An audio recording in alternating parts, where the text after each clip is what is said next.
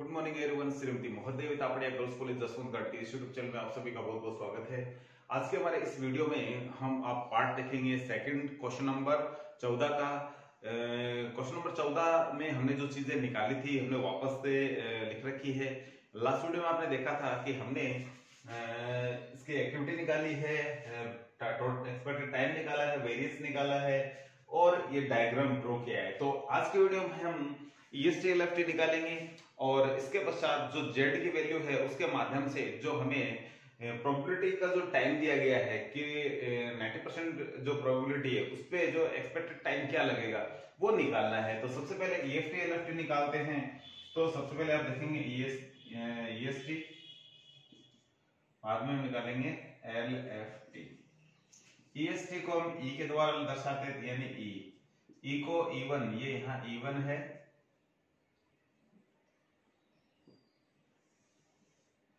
तो E1 इसको कहते हैं, ये होगा E2 ये E3 ये E4 E5 E6 और E7 तो इस तरीके से ये सारी चीज़ें हमने लिख दी है। इसी प्रकार से L होता है LFT को L के द्वारा शो किया जाता है। L1 L2 L3 L4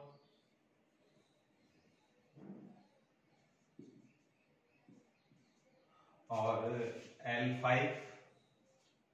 L6, L7 तो ये जो सारी चीज़ें हमने जो यहाँ लिख ली है। तो अब हम केवल इसको कैलकुलेट ही करेंगे। तो सबसे पहले E1 E1 हमेशा ज़ीरो से स्टार्ट होता है तो ज़ीरो हो जाएगा। कुछ नहीं है एक्टिविटी और उसके बाद में E2 E2 यानी एक से दो के बीच में लगा टाइम और ये प्लस ये जोड़ना होता है। तो E1 प्लस एक से दो एक्टिविटी के बीच में टाइम लगा है दो तो ये ज़ीरो और दो होते हैं दो तो ई e टू होता है दो ई थ्री ई थ्री ये है E three E one plus इसके बीच का जो टाइम है ई वन प्लस चार, ये चार ही होगा।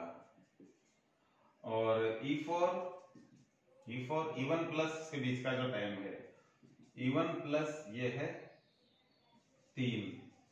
ये आ जाएगा तीन। इसके बाद में ई फाइव ई फाइव दो रास्ते आ रहे हैं। ई टू प्लस बीच का टाइम ई थ्री प्लस ये बीच का time E two plus one E three plus six E two है, जो कि हमारा था दो दो रेक होते हैं तीन। ई थ्री है, जो कि चार चार और छह होते हैं दस। दोनों में जो बड़ा होता है, उसको लेते हैं तो ये आएगा ई e फाइव है जो दस होगा। इसके पश्चात बात करते हैं ई e सिक्स की।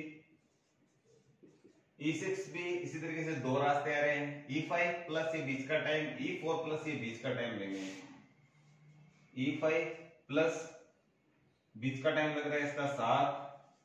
ई फोर प्लस इसके बीच का टाइम लग रहा है पाँच। तो ई फाइव है जो कि दस था, दस और सात होते हैं, सत्रह। ई फोर है, जो कि तीन था, तीन और पाँच होते हैं। आठ दोनों में बड़ा है, वो सत्रह। तो ई सिक्स है, जो कि हो जाएगा सत्रह। और E seven, E six plus इसके बीच का जो टाइम है, वो है दो। ये हो गया सत्रह ई सिक्स सत्रह था, सत्रह और दो हो जाते हैं, उन्नीस। तो ये होता है उन्नीस एल सेवन भी उन्नीस ही होता है लास्ट का होता है। इसको L seven L F T निकालेंगे यहाँ एल सेवन से स्टार्ट होता है ये तो ये उन्नीस ही होगा। एल सिक्स निकालेंगे सात में से बीस का टाइम घटाएँगे एल सेवन माइनस दो एल सेवन है उन्नीस से उन्नीस में से दो जाएगा तो ये सत्रह आएगा तो ये है सत्रह एल फाइव है जो कि सिक्स में से टाइम घटाएँगे एल सिक्स माइनस सात एल सिक्स है जो सत्रह है सत्रह में सात जाएगा दस ये दस आता है एल फोर है जो एल सिक्स में से ये बीच की दूरी घटाएँगे L six minus five six है जो कि सत्रह था सत्रह में से पाँच घटा देते हैं तो आएगा बारह। तो एल फोर आ गया बारह।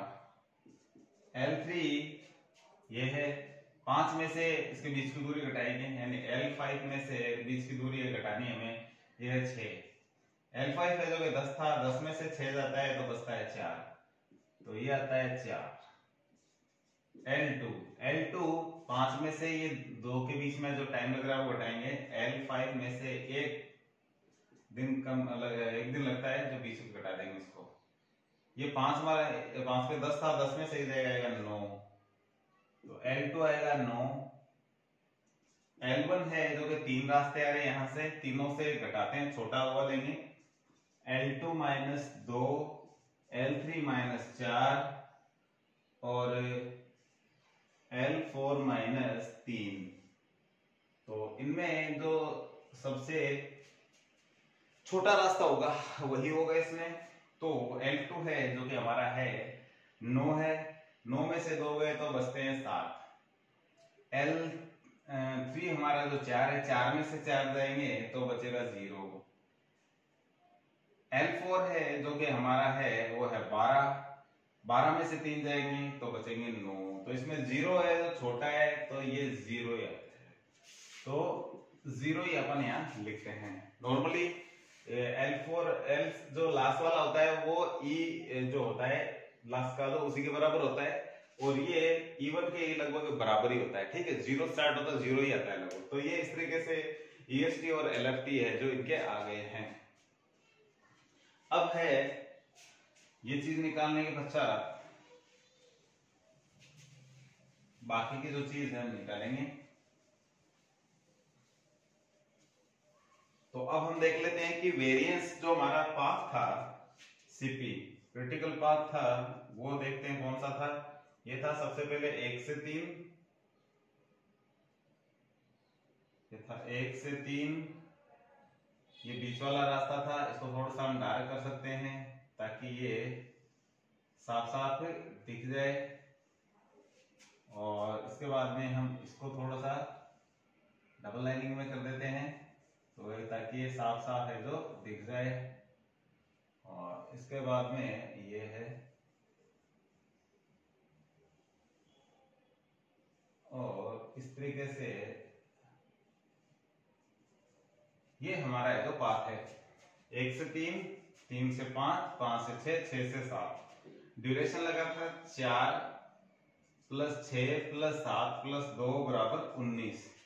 इसका जो वेरियंस है, वो हम लेते हैं तो देखते हैं कितना आता है। एक से तीन के बीच में जो है एक, ये वेरिएंस लिख रहा हूँ मैं, एक प्लस, इसके बाद में तीन से पाँच में है चार,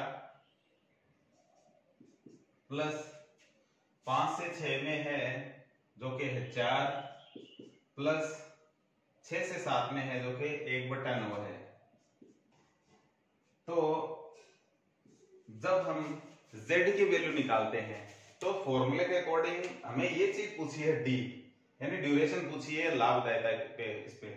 इस प्रोबेबिलिटी 90 परसेंट प्रोबेबिलिटी पे ये d की वैल्यू क्या होगी डेज़ निकालने में। एक्सपेक्टेड टाइम हमने ऑलरेडी निकाल लिया है, जो कि आया है 19 डेज़ है जो।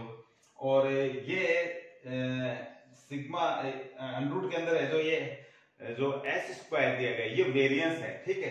ये वेरियंस की वैल्यू है, जो टोटल जोड़ के यहाँ लिखेंगे और अंडरूट निकालेंगे इसका। तो हमारे सामने जो वेरियंस की ये टोटल वैल्यू है, जो हमारा पाथ था, उसकी टोटल वैल्यू में यहाँ लिखते हैं। तो हम क्या करेंगे? सबसे पहले इसको टोटल करेंगे कि ये कितना है। उसके बाद में यहाँ हम उसका अंडरूट निकालेंगे। तो उसके बाद में फिर जेड की वैल्यू के सामने रखेंगे और इसका जो तिरछा गुणा करके इसको हम निकालते हैं। तो सबसे पहले हम क्या करते हैं, इसको हल करते हैं थोड़ा। V is equal one plus four plus four plus एक बट्टे नौ। तो इनका क्या है, हम क्या करते हैं, लघुतम लेते हैं और इसको एक सिंगल संख्या में निकालते हैं।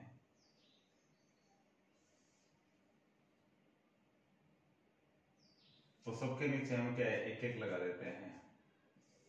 नौ आएगा नीचे, ये आएगा नौ। छत्तीस छत्तीस प्लस एक। तो इस तरीके से इस संख्या का इसमें भाग लगाया जाता है ऊपर वाली संख्या से गुणा किया जाता है। एक का नौ में भाग लगाएँगे आएगा नौ नौ को एक से गुणा करेंगे, नौ। इस तरीके से एक का नौ में भाग लगाया, नौ बार गया और नौ को चार से गुणा करना है छत्तीस। तो इस तरीके से एक का नौ में भाग लगाना है और जो भागफल आए उसको ऊपर वाली संख्या से गुणा करना है। तो इस तरीके से ये संख्या आ जाए जब नीचे एक एक हो तो सीधा आप गुणा कर लिया करो। जैसे नौ है तो नौ का भाग हमने नौ में लगाया तो एक आया एक को एक से गुणा किया एक आया। तो इस तरीके से ये है। तो ये छत्तीस छत्तीस बहत्तर और ये दस बयासी बट्टे नौ हो गया है। तो ये इसका जो वैल्यू आ गया तो हम ये जो सिग्मा स्क्वायर के अंदर है जो, ये लिखेंगे बयासी बट्टे नौ लिखेंगे ठीक? है इसका फिर अंडरूट निकालेंगे। तो आगे इस क्वेश्चन को हम कंप्लीट करते हैं। जो कि मैं 90 परसेंट प्रोबेबिलिटी पे जो डेज़ पूछे हैं कि कितने दिनों में ये प्रोजेक्ट है जो खत्म होगा तो ये निकालते हैं। तो जेड की वैल्यू ऑलरेडी हमें दे रखी है, ये है एक एक पॉइंट छ चार पाँच बराबर d हमें है जो निकालना है। माइनस एक्सपेक्टेड टाइम है, जो कि हमने पहले से ही निकाला हुआ है, उन्नीस हमारा आया हुआ है, वो लिख लिया हमने।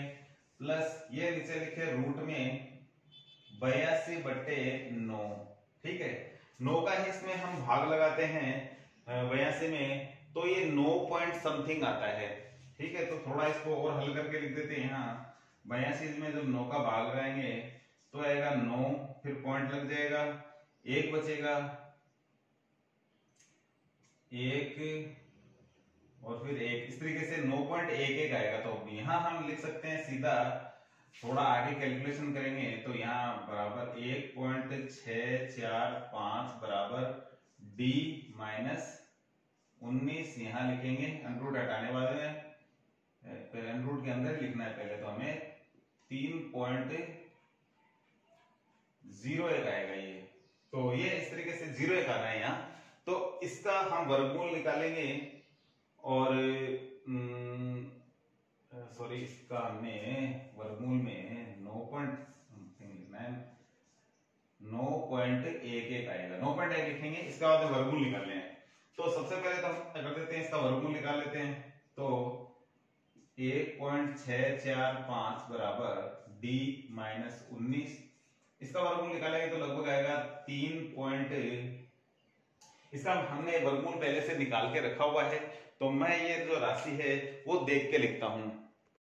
तो इसकी जो राशि है वो है तीन पॉइंट ज़ीरो दो और अब करना है हमें क्रॉस मल्टीप्लाई।